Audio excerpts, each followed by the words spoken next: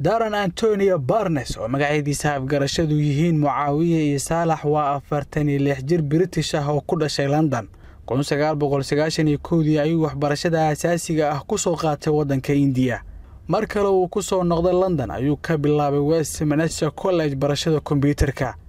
laakiin ma uusan dhammaysan ee waxa uu keeni waayey natiijada gudbidda heerka darajada ee u degsanaa kollejkaas kun sagaal boqol sagaashan iyo shantii ilaa kun sagaal boqol sagaashan iyo toddobadii ayuu ka shaqeeyey shirkadaha kale ah d w group b c i oo ah shirkado ka shaqeeya qalabeynta xafiisyada. Waxa uu maamulo darool u soo noqday sky news t v ilaa markii dambe david golmes oo ah ganacsade macaamiil u ahaa t v-ga uu u noqdo daroowalkiisa gaarka ah sannaddii labada kun iyo saddexdii dabayaaqadii labada kun iyo lixda iyo bilowgii labada kun iyo toddobada ayuu qaatay diinta islaamka oo uu sheegay inuu u soo jeediyey nin soomaali ah oo u sahlay deganaanshiyihiisa kenya ilaa xiriirkiisa soomaaliya. Waxa uu guursaday gabar soomaaliyeed oo ay wada joogeen intii u dhexaysay laba kun iyo toddobadii ilaa laba kun labaiyo tobankii. Waxa uu u safray waddamada indiya venezuela faransa irelan masar malta kenya oo uu ku noolaa toddoba bil iyo soomaaliya uu joogay hadda ilaa soo gelistiisii laba kun iyo tobankii. Mombasa magaalo xeebeedka kenya uu ku noolaa toddoba bil isaga iyo qoyskiisa soomaaliga waxa ay toddoba bil kadib soo galeen soomaaliya isagoo safar dhulka kaga soo tallaabay dhobley laba kun labaiyo tobankii intii ay al-shabaab la gelin heshiiska alqaacida ka hor ayuu soomaaliya soo gaaray daran antonia waxuuna u tirsanaa wakiilada alqaacida maadaama uu heshiiska kooxda ka horreeyey waxay ahaayeen wakiilada alqaacida ee xilligaasi roobow assuudaan afqaan cabdulaahi faysal nabhaan ceyrow iyo isaga. Daran antonia ayaa bilowgiisii hore u ahaa gacanyare bilaal barjaawi oo u dhintay dhaawac ka soo gaaray duqeyn lala beegsada bartamihii laba kun labaiyo tobankii. Daran antonia waxa uu qayb ka ahaa weerar ay al-shabaab qorsheeyeen inay ka fuliyaan dalka faransiiska waxa uu la jir kula qaabeynta qorshahaasi horjoogayaal ay ka mid yihiin bilaal cikrama faysal jacfar abu muxamed iyo lix qof oo kale. Kaalintiisa weerarkaasi waxay ahayd inuu kireeyo guryaha ay degi lahaayeen kooxda lixda ah ee qorshuhu ahaa in weerarkaasi ay fuliyaan.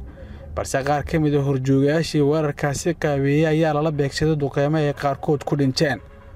Waxaa ugu wardambeysay kooxdii fulayaasha ahaa oo doon laga saaray kismaayo sidaasna ay ku galeen kenya ogaalkiisa jaran antonia ayaa u sheegay hay'adaha amniga in guryo qarsoodi ah sef house ay ku leeyihiin al-shabaab waddamada kenya senegal siraleon burundi uganda iyo waddamo kale oo ku yaalla galbeedka iyo bartamaha afrika. Waxa uu al-shabaab ka caawin jiray software kombyuutarada oo u sahlaya keedinta xogahooda gudaha iyo dibadda inaan loo dusin. Waxa uu ka qayb galay dagaaladii ka dhacay dalka gaar ahaan caasimadda ka hor intaan looga itaal roonaanin iyo kuwii gobollada sida galguduud gado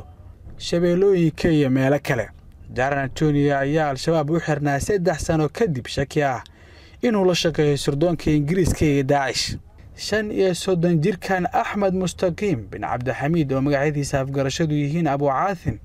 iyo al ansaar waa maleysiyaan u dhashay maleysiya labada kun iyo lixdii ayuu waxbarashada u soo aaday yemen gaar ahaan jaamacad lagu magacaabo jaamacatul iimaan laba sano uu bartay carabiga kadib waxa uu soo aaday soomaaliya. Qof soomaali ah oo ay wadan dhigan jireen jaamacadda ayaa xiriiriye u ahaa kana dhaadhacsiiyey inuu fikirkiisa guraacan ee khibrada dagaalka uu kaga faa'iidaysan karo soomaaliya. Axmed waxa uu isku dayay waayihiisii uu ku noolaa dalkiisa inuu ku biiro ciidamada waddankiisa laakiin waxa uu ku haray darajada hooseyse ee dugsiga sare looga soo gudbo maadaama dadka ciidamada loo qaadanayay ay darajo ahaan ahaayeen kuwa sarreeyo waxa uu soo maray kenya oo ay mar dambe ka soo wada galeen isaga iyo saddex kale xagga kismaayo soomaaliya setembar labada kun iyo sagaalkii. Waxa uu u sheegay argagixisada inuu ka caawin doono caafimaadka deg deg ah first aid. Tababaro ay maleeshiyadu ku siisay magaalooyinka baraawe iyo baydhabo kadib waxa ay u bixiyeen al ansaar. Waxa uu ka qayb galay weeraradii muqdisho ka dhacay dhuuse mareeb dagaal ay ku jabeen al-shabaab oo ay ahlu sunna la galeen iyo meelo kale oo dalka ka mid ah aagay gubta ayuu ka dagaalami jiray ilaa markii dambe laga itaal roonaaday argagixisada caasimadda intii u dhexaysay labada kun iyo kow iyo tobankii labada kun labaiyo tobankii axmed mustaqiim bin cabdixamiid ayaa isku dayey inuu isaga baxo dalka xilligii khilaafka ka dhex jiray al-shabaab. Balse waxaa loo dhaadhiciyey xabsiga uu ku xirnaa saddex sano sababo la xiriira shaki ah. Ku biiristiisa daacish oo ay al-shabaab u arkeen cadowgooda koowaad maadaama ay ka siman yihiin dhaqanka dilka iyo gaalaysiinta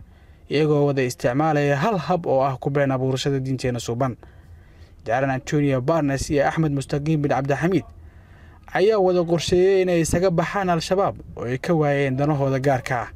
Waxa ay qorshaysteen sidii ay u heli lahaayeen xiriirka daacish oo ay dani biday inay badda ku safraan waxayna xilligaasi u jihaysteen dalka yemen laakiin dowladda yemen ayaa isaga soo celisay badda dhowr cisho kadib oo ay ku xirnaayeen mukalla maamulka puntland ayay u gacan galeen iyo tobankii abriil laba kun sagaal iyo tobankii. Dhowr bil kadib labada ajaanibta ah ayaa loo soo gacangeliyey dowladda dhexe ee soomaaliya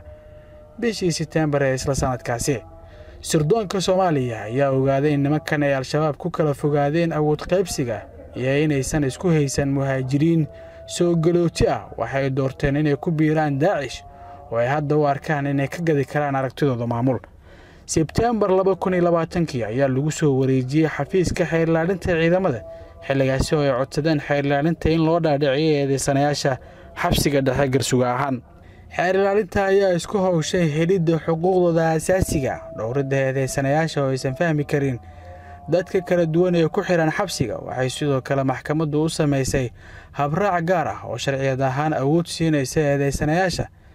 sida uu qabashada turjumaano ay ku fahmi karaan dadka carabiga ingiriisku ay isticmaalayeen xukunsanayaasha waxaa loo ogolaaday xukunsanayaasha inay la xiriiraan dalalkooda iyo safaaradahooda si lamidana ay dalban karaan qareeno gaar ah.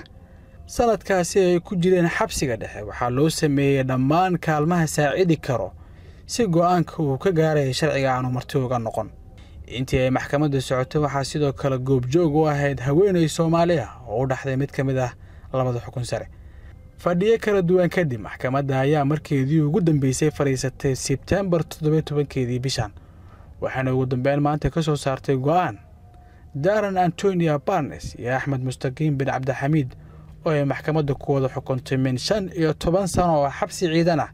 sida dhinacyada dacwadda iyo warbaahinta uu la wadaagay. Gaashaanla sare xasan cali nuur shuute gudoomiyaha maxkamadda darajada koowaad ee ciidamada qalabka sida